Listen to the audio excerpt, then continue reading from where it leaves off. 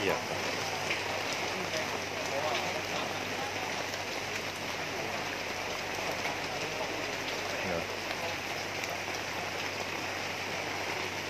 สวัสดีครับวันนี้บรรยากาศในช่วงเช้าเนาะเพจอีจันก็มาถึง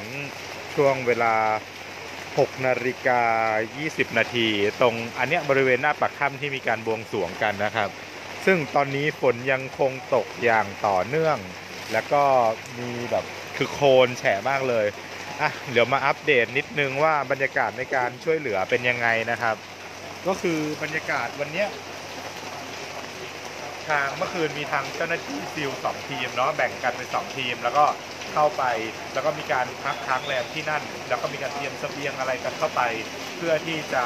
ค้นหาน้องๆให้เขาเรียกว่าน้องๆให้เจอเออ นี่ก็เป็นภารกิจคร่าวๆ ซึ่งในส่วนของการวางสายไฟการที่จะเข้าไปทำเครื่องดูดน้ำอะไรแล้วไปไปติดตั้งเครื่องดูดน้ำก็ยังมีการดำเนินการต่อไปเรื่อยๆ ซึ่งวางแผนไว้ที่ 4 กิโลเมตร ตอนนี้ไม่แน่ใจว่าถึงเท่าไหร่แล้ว เดี๋ยวเราต้องไปดูข้อมูลกันอีกทีนึง แต่ทุกคนยังคงทำงานอย่างต่อเนื่อง ตอนนี้บรรยากาศทั่วไปได้ยินไหมไม่ได้ยินใช่ไหมได้ยินไหมเออบรรยากาศทั่วไปก็ยัง เบาบางคนยังไม่เยอะมากเท่าไหร่ ก็มีเจ้าหน้าที่เข้าออกตลอดเวลา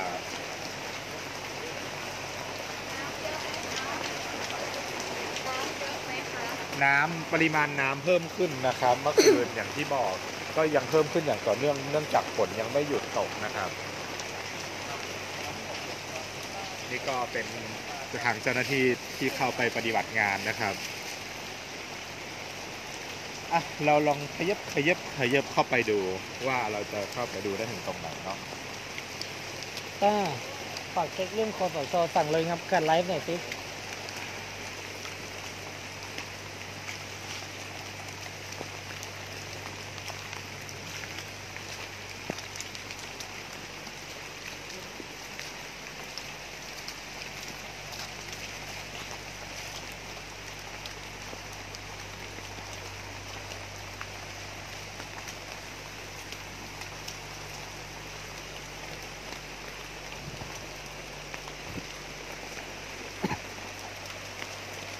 อนนี้ทุกคนก็ยังมีความหวังอยู่นะครับอ้าวเป็นยังไงบ้างก็ถอนออกมาก่อนทำไมอะเขาไม่เขาอะถอนออกมาก่อนเพราะน้ำมันสูง อ๋อ น้ำสูงขึ้นใช่ไหมใช่ ก็เลยถอนครับเรื่องไลฟ์สดนะ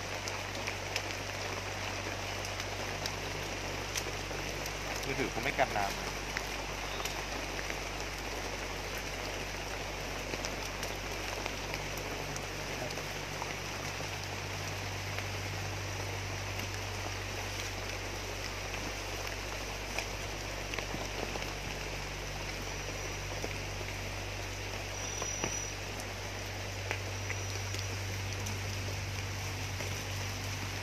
แล้วอีตู่ไม่มาเก็บภาพเหรอ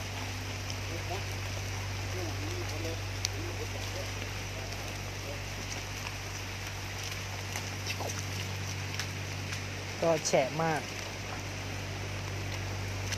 เดี๋ยวยืนในเต็นท์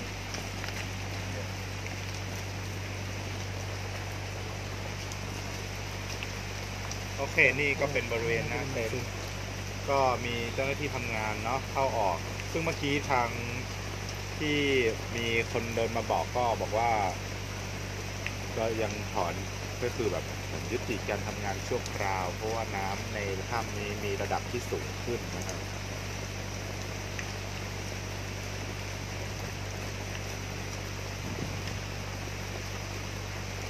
นี่ก็เป็นบรรยากาศทั่วไปเนาะยังต้องให้กำลังใจกันอยู่นะครับ ตอนนี้ยังไม่เจอนะครับ ยังไม่พบสัญญาณชีพต้องบอกไว้ก่อนนะครับณสถานที่ตรงนี้ณจุดนี้เนาะมาพูดอยู่ตรงนี้ไม่อย่างนี้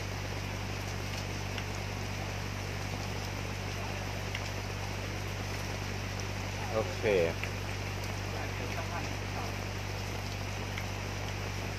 เข้าไปกินนะเข้าไปกินมีนคอน คือ คือเขาบอกว่าเข้าไปกินนอนข้อยู่ในนั้นจข้าริงใช่ เข้าไปกินนอนจริง ก็เป็นข่าวเมื่อคืนๆคือไม่ใช่ว่าออกมาไม่ได้คือออกมาได้แต่มันไกลมาก ก็เลยต้องกินนอนอยู่ในถ้ำเลยเพื่อที่จะให้เจอใช่เขาวางแผนไว้แล้วว่าเข้าไปกินนอนที่นั่นเลย ก็มีการเตรียมเสบียงเตรียมอุปกรณ์ต่างๆ เข้าไปด้วยนะโอ้ไม่ก็คือฝนคือฝนทั้งคืนเลยอะเมื่อวานตอนที่นมมาถึงก็คือตกแล้วอะใช่จนถึงตอนนี้ฝนมันตกเรื่อยๆเนาะ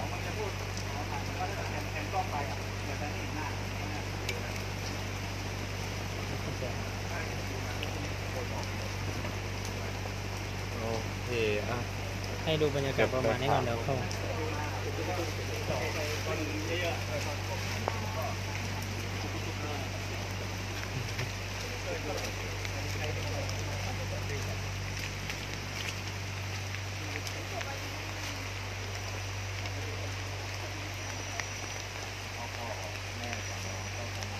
วันที่สาม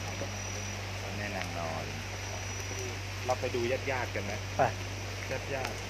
ญาติๆเข้ารอ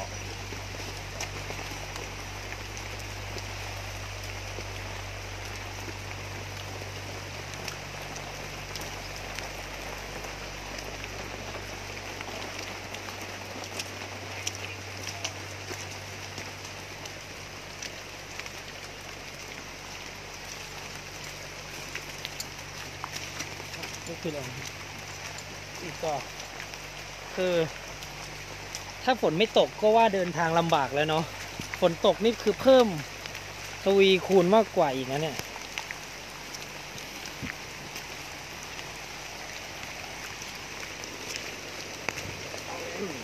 ไปลง ท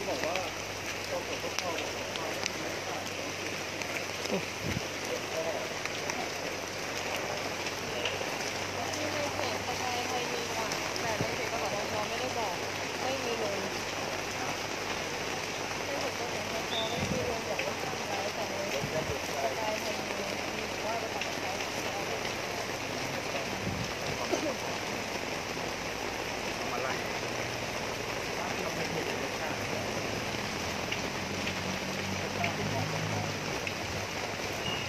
หลายพัน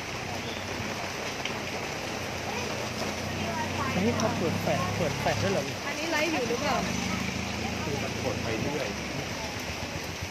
อันนี้ยังไลฟ์อยู่ไหมคุณหนุ่มไลฟ์อยู่อ๋อเดี๋ยวลงไปคุยกับญาติญาติๆแม่ ๆ กันนะคะ ที่นอนรอกันตั้งแต่เมื่อคืนไปดูก่อน ตรงนี้จะเป็นที่เรียกว่าที่พักเนาะ หน่วยปฐมพยาบาล เวลาลงมาจากหน้าถ้ำก็จะเจอหน่วยปฐมพยาบาลนี้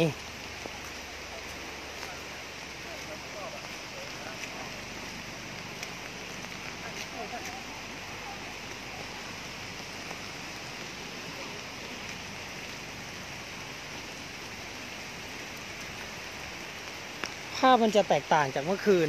มาก เพราะเมื่อคืนเนี่ยรถจะเยอะรถเยอะวันนี้แล้วคนเยอะด้วย ไม่วันนี้เจ้าหน้าที่อาจจะควบคุมรถที่จะเข้ามาค่ะ เพื่อให้มันรถมา ไม่ไม่ขวางการการทำงานของเจ้าหน้าที่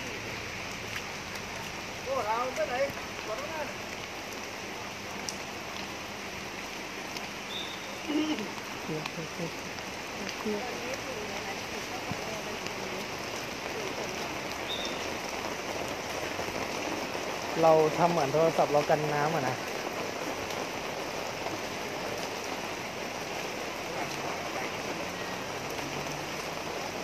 ตรงนี้ก็เป็นในส่วนของญาติๆนะครับคือบางส่วนก็กลับไปพักผ่อนที่บ้านเนื่องจากว่า คือพอฝนตกทุกอย่างก็ไม่สะดวกเลย เดี๋ยวคงเดี๋ยวคงทยอยมากันอีกรอบช่วงช่วงเช้าเช้าแต่นี้สายๆกันนี้นิดหน่อย จะมาแล้วค่ะอืมก็ยังมีบางส่วนที่ยังคงปักหลักรอเนาะ แล้วก็สื่อเองก็คอยติดตามสถานการณ์อยู่เหมือนกัน ซึ่งเราก็ภาวนาให้ฝนหยุดสักสักใหญ่ๆเลยล่ะ หรือไม่ก็อย่าเพิ่งตกเลยจนกว่าจะเจอน้องเนาะ เพราะว่ามันก็เป็นอุปสรรค จริงๆเมื่อวานหยุดไปรอบหนึ่งมาตกช่วงสักประมาณ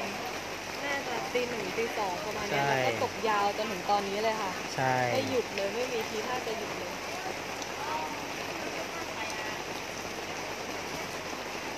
น้ำได้ท่วมรองเท้าไปยังไปดูตรงเสบียงอาหารกันไหม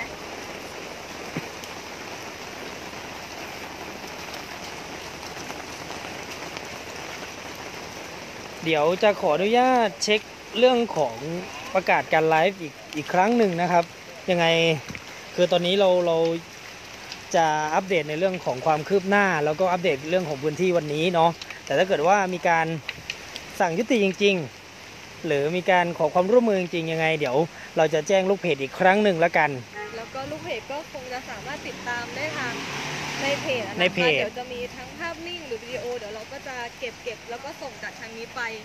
แล้วเดี๋ยวทางข้างในเขาก็จะรีบอัปเดตลงเพจให้ได้ติดตามกันนะคะ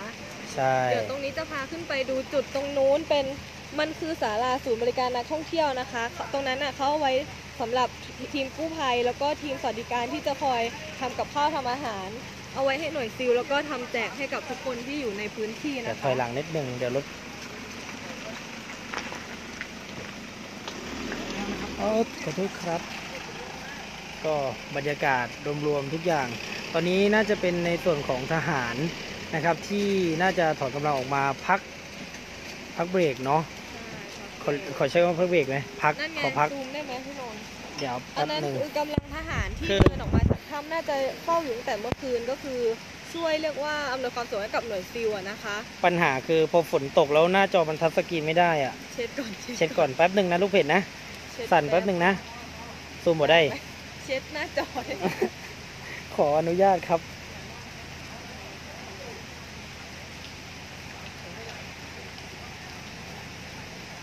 เออกล้องรุ่นนี้มันดีเว้ยเครื่องเจ็กมันถึงในในหนูลองดูระวังรถหนู ไม่ได้ อะ ไม่ได้ขอให้มองไปไกลๆตรงนู้น ขอเดินไปก็ได้ ระวังรถหนู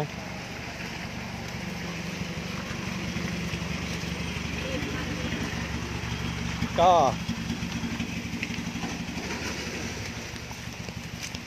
คือฝนตกหนักมาก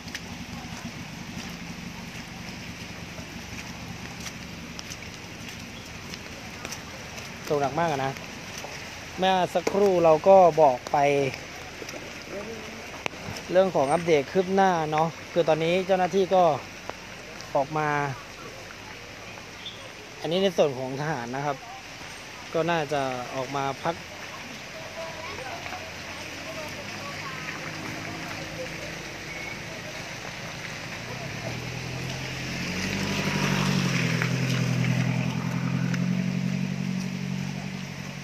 โอเค ตรงนี้น่าจะเห็น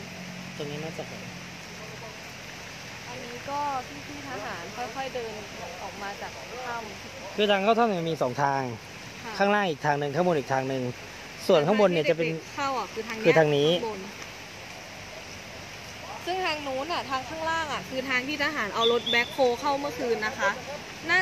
เออรู้สึกจะขุดเอาไปเอาไปเขาเรียกอะไรอะ เอาน้ำออกจากบริเวณตรงนั้นที่สามารถเอาออกได้อะค่ะแล้วเจ็กไปไหนอะตรงนั้นมีเครื่องสูบน้ำอยู่ด้วย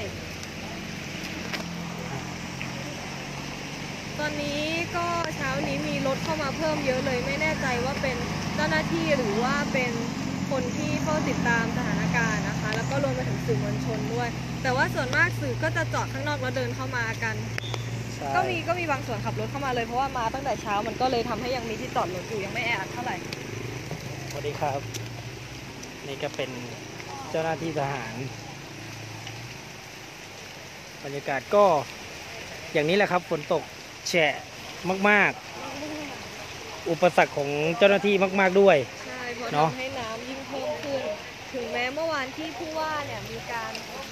เอ่อสรุปสถานการณ์ แล้วก็บอกว่าประโยคที่ผู้ว่าบอกนะว่า น้ำขึ้นสูงเท่าไหน เราจะต้องสูบออกให้ได้เท่าที่น้ำเข้าหรือมากกว่านั้นอือฮึแต่พอวันเนี้ยฝนมันตกต่อเนื่องขนาดเนี้ยก็ไม่รู้ว่าจะสูบออกไปได้มากน้อยเท่าไหนอะนะคะ เพราะมันก็คงขึ้นอยู่เรื่อยๆอะเอาออกก็เพิ่มออกก็เพิ่ม น่าจะเป็นอย่างเงี้ยมากกว่า เอาขึ้นไปเลยข้างบน